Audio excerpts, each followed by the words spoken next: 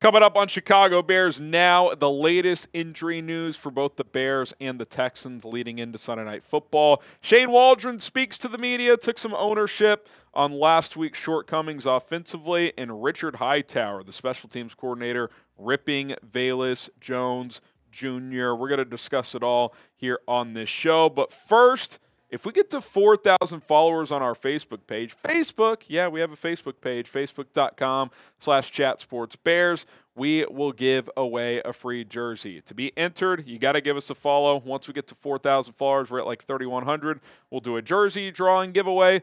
Check it out, facebook.com slash chatsportsbears. All right, let's get into the latest on Rome Odunze. Did not practice for a second straight day with a knee injury. Matt Eberflus on Wednesday saying that he's day to day, that it's not serious, but uh, did not practice. And neither did Keenan Allen.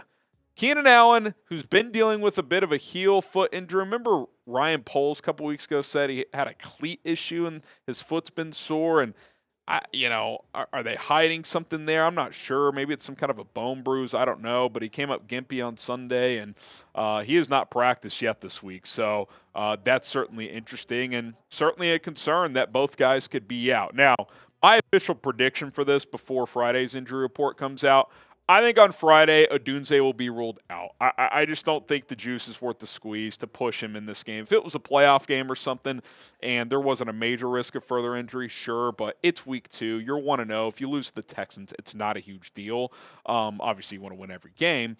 I think Keenan Allen's a game time decision. I, I, think this is more of a pain tolerance thing with him. It might be something that lingers, and maybe it's just one of those situations where he doesn't practice a ton this year. Who knows? Uh, I think he's a game time decision. They elevate Collin Johnson from the practice squad to help fill in for Rome, and uh, they make a decision 90 minutes before kickoff on whether or not Keenan Allen plays. But I don't think Rome will play, and I think Keenan will be a game time decision. What do you guys think on Keenan? Do you think he plays on Sunday? Type P for play, type W for won't. I'll stay optimistic. I think he'll give it a go. Uh, he's clearly not going to be 100%, but uh, uh, I think it's a pain management situation more than anything else. I think he'll be out there despite not practicing this week. We'll see if he goes through uh, some of the walkthrough stuff on Friday. All right, you look at the full injury report. We mentioned Allen and Odunze. Khari Blasingame did not practice with a knee issue, so keep an eye on that one. They may have to elevate uh, a tight end like uh, Stephen Carlson from the practice squad could be an option there. Ryan Bates, who's been limited with this shoulder, played last week, limited yesterday, did not practice today. Could he be someone who's out? He split time with Nate Davis and actually got more snaps than Nate Davis at right guard in week one, so that is significant. Marcedes Lewis, weekly rest day is on Thursday, so nothing there. Kiran Amegadjie still limited with that quad. They're clearly trying to ramp him up. Uh, DeMarcus Walker uh, limited with the foot after not practicing yesterday, so he's trending up. And then Zacch Pickens, full participant, so he's certainly tracking to play for the first time this year. Did not play in the opener with that groin issue, but uh, that would obviously give you uh, a little boost to your interior defensive line. Now we shift to the Texans. Dalton Schultz is he going to miss Sunday night football? He has not practiced this week with an ankle injury, and I think this would be pretty significant. Dalton Schultz was probably CJ Stroud's number two target last year. Now, Tank Dell missing some time certainly uh, hurt, but uh, he was really good a year ago. Five touchdowns, 59 grabs. Week one, he had just three catches for 16 yards, but pretty reliable tight end. So that would kind of give uh, CJ Stroud safety net uh, that would take that away from him, I should say, if he can't go. I, I think that's a pretty notable deal. If he's absent, um, I, I, think that's pretty significant uh, for Houston's offense. Now, obviously, they still have their big three at receiver and uh, Collins, uh, Tank Dell, and of course Stefon Diggs. But if uh, Schultz is out, I think that's uh, at least somewhat notable. Uh, you look at the injury report as a whole for Houston. MJ Stewart did not practice. He's a depth safety. Probably won't play this week. Uh, Nico Collins popped up today, limited with an illness. I would expect him to play Sunday. Uh, probably just woke up with you know, a cold or something today, but keep an eye on that. Dameon Pierce limited with a hamstring uh, injury. And then Juice Scruggs, their starting center, popped up today as well with a groin injury. He was also limited. Him and Pierce, new additions as well. So those soft tissue injuries, uh, as you know, Bears fans, those can linger. So um, keep an eye on those because that's, that's a couple notable pieces there uh, on the Texans injury report. Now, today's show is sponsored by Rocket Money.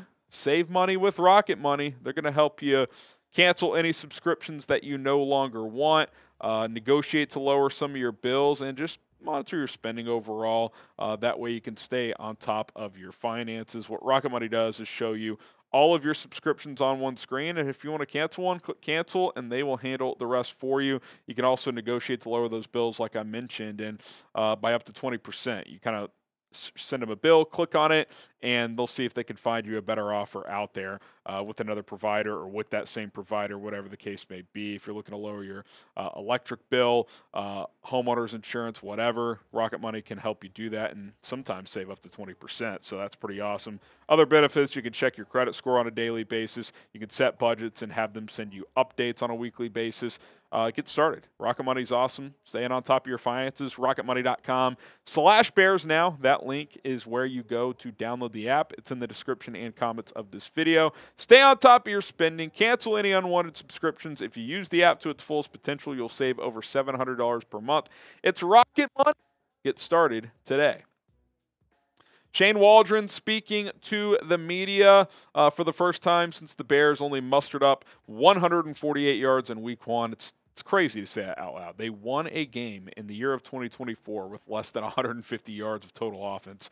Uh, pretty amazing. Uh, just kind of a little rapid fire on some things uh, Shane Waldron uh, touched on. He was asked, of course, about Cole Kmet's usage, getting less snaps than Gerald Everett.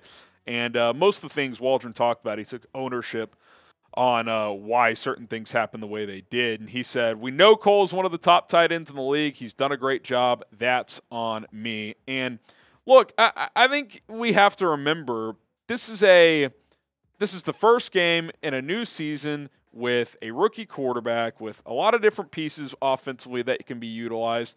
And I think sometimes, depending on the flow of the game, probably what you plan to do can get away from you a little bit. And we have to, you know, acknowledge somewhat of a grace period. Now, obviously, it's got to be better. And you're playing Cole, you're paying Cole Kmet 12, 13 million bucks per year. He's got to play more. I mean, he's a guy who should be playing the majority of your snaps, not less than 50% and not less than Gerald Everett. Now, should his snaps be down compared to last year when he was playing like every single snap per game and he was beat to hell by the end of the year? Of course. That's why he signed Gerald Everett. But he should not get seven less snaps than Everett unless you're just getting drilled and you're going five wide every play, okay, fine, go with Everett. But that was not the case last week, even though you were behind.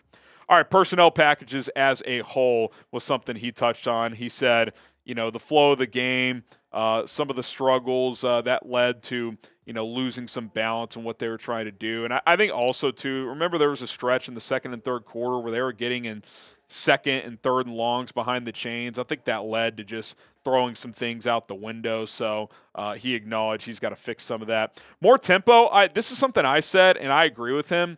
Pick your spots. He said he wants to find some opportunities to play with more tempo. I think that'll play into the strength of Caleb Williams. Like, while he's still learning how to be a professional quarterback, string a couple first downs together and, hey, let's push the tempo a little bit. Get him into a rhythm and something that he feels comfortable with. So you saw Caleb once or twice last week after a first down, like, hey, let's let's get the play, get the play, and let's go. Uh, I think uh, finding those opportunities when it makes sense, I think, could be very beneficial.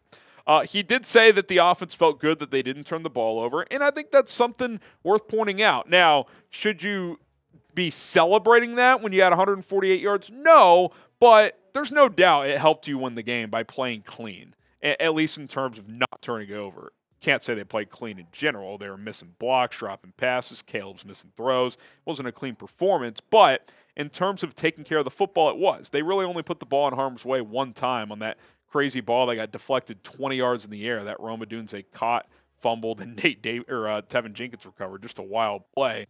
Uh, but uh, I, like Matt Eberflus said, that was the difference in the game. Their guy turned it over three times. Our guy didn't turn it over. We won the ball game. So, uh, you know, against Houston – while you want to probably find some opportunities to be more aggressive, if you can play turnover free, uh, you're probably going to have to do that if you want a chance to win this game. And then, of course, on Caleb, uh, talked about uh, his rookie's first start. He said he wants to see Caleb improve on this week is to play with clean eyes and clean feet. And I think that's kind of, especially the foot part of it, is something that Williams pointed to uh, when he spoke to the media on Wednesday he said he rushed his drop a few times, and that led to a couple of errant throws. And I, I think that's pretty clear it did. Uh, there were a couple throws where one he just skipped to Odunze, uh, he overthrew a couple balls, and you're just like, okay, like accuracy is not really an issue of this kid's. Like it, it never has been. So that was abnormal, and I think a lot of that can probably be uh, attributed to rushing the footwork. You know, things like that, not getting your feet set. So.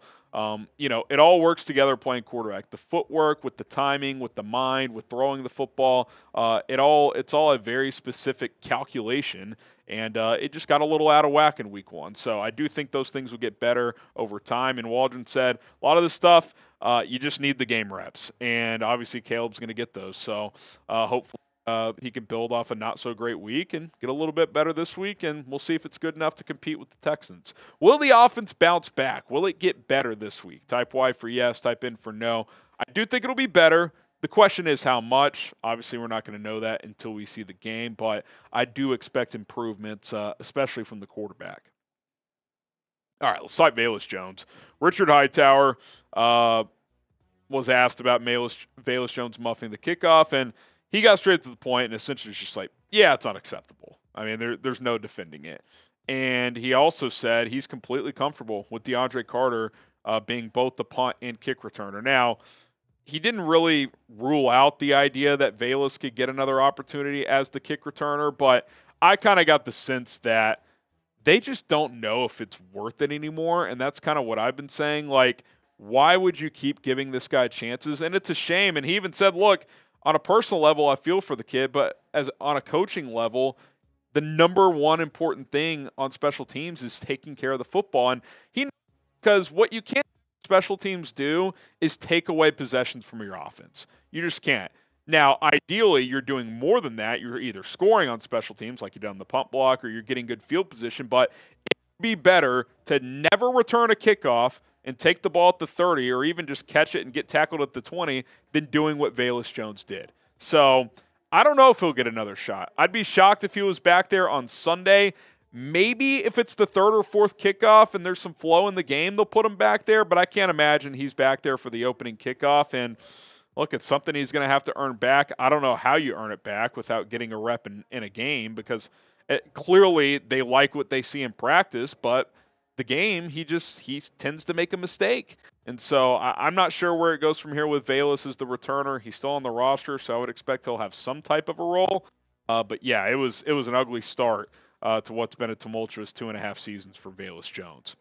All right. Appreciate everybody for tuning in to today's show. We'll continue to monitor the injury situation, Friday's injury report. If there's something notable, we'll have a video for that, plus a whole lot more. So keep us locked in. My name is Harrison Graham. We will see you guys soon.